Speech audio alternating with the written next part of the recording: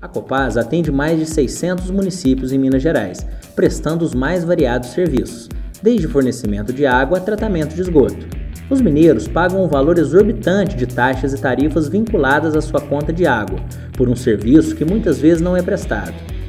Esse fato tem revoltado o contribuinte há muito tempo e motivou a criação de uma frente parlamentar municipal, formada por vereadores de diversas cidades do sul e sudoeste de Minas, dispostos a investigar e cobrar o cumprimento dos contratos firmados pela Copasa.